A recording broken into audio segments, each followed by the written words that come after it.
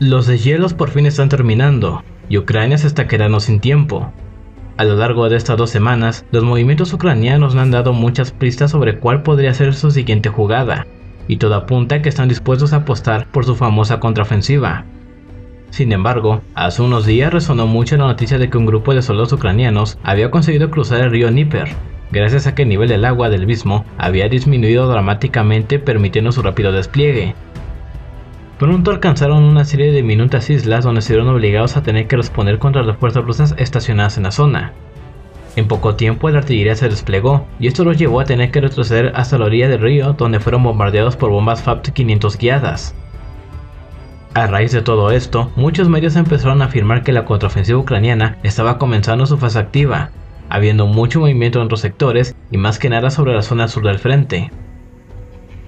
Como bien recordaremos, desde hace un par de meses se empezó a especular sobre qué dirección podría tomar el importante movimiento ucraniano, existiendo otros puntos importantes. La primera era en Bakhmut, opción que fue aceptada por muchos al observarse una gran concentración de fuerzas que se estaban reuniendo en el sector norte de la ciudad.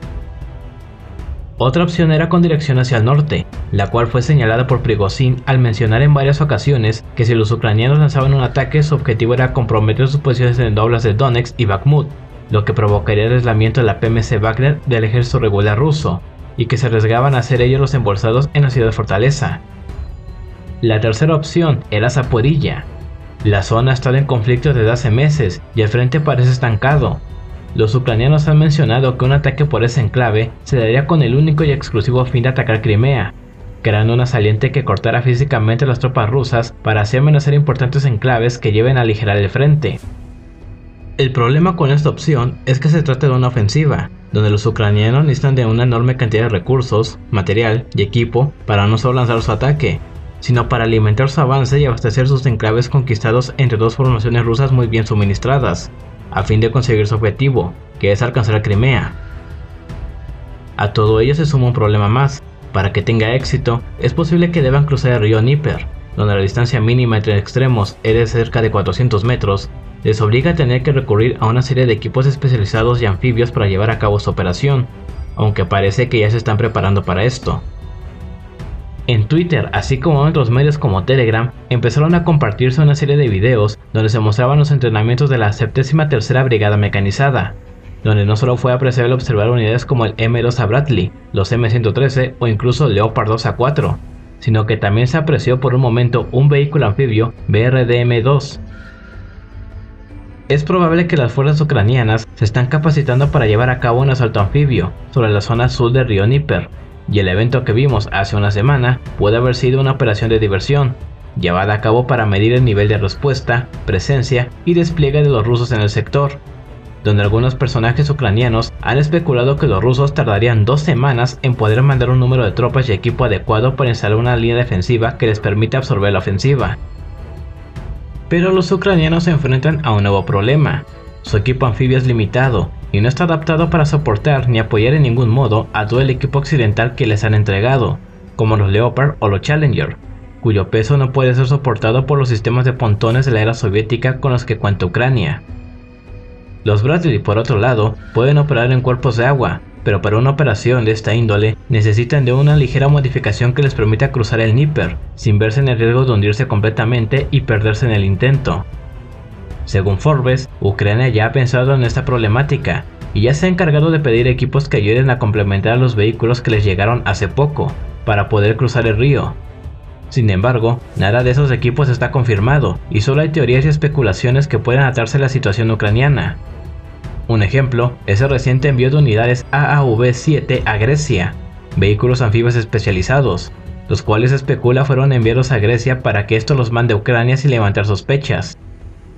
Asimismo, Corea del Sur ha hecho un gran periodo de 110 plataformas anfibias M3, diseñadas especialmente para poder transportar dos tanques tan pesados como el M12 Abrams con su último paquete CEP. Corea del Sur podría mandar dichas plataformas a Ucrania. Esto sería así para no darle tantas pistas a Rusia del próximo movimiento ucraniano, el cual puede que ya esté comprometido, dado que mientras algunos analistas expresan que Rusia espera absorber la ofensiva, otros desestiman que haya ofensivas ucranianas y que el furor mediático responda más a retrasar una posible ofensiva rusa. A todo esto, debemos reconocer que las operaciones anfibias se conciben, en actualidad, con el agua como zona de maniobra y no solo como vía de aproximación como era antiguamente.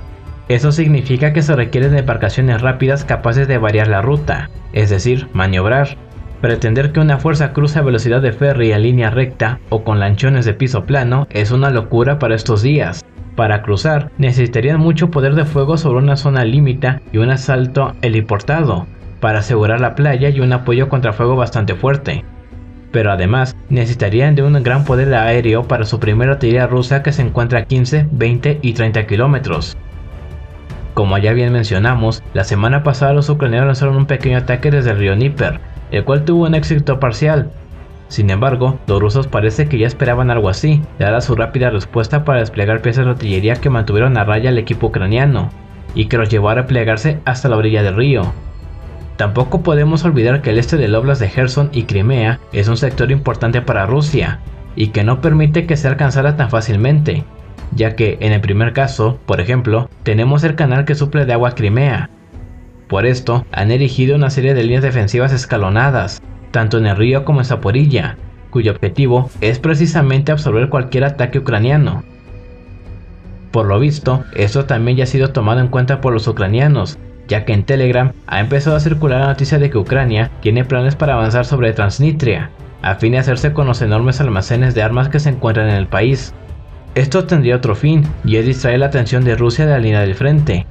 Transnistria, si bien no es reconocida como Estado por Rusia, sí mantiene una estrecha relación, y además en la zona se encuentra un grupo de soldados rusos, por lo que cualquier acción contra el país llevaría a Rusia a responder por ellos.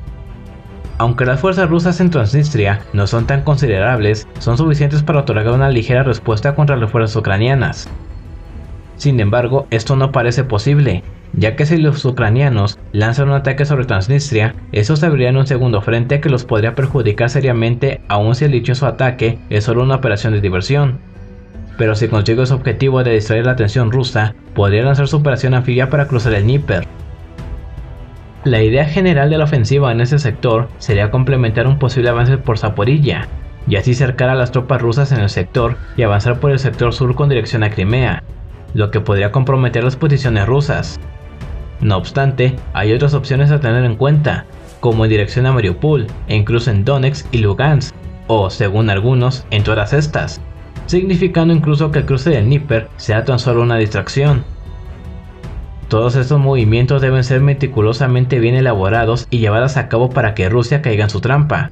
pero dadas las condiciones, ya que los rusos ya están alertados, puede que esto sea más difícil de conseguir. Curiosamente, los medios han hecho sonar la ofensiva ucraniana por meses, mientras poco sabemos de qué buscan los rusos. Quizás el 10 de mayo se vislumbre algo de todo esto.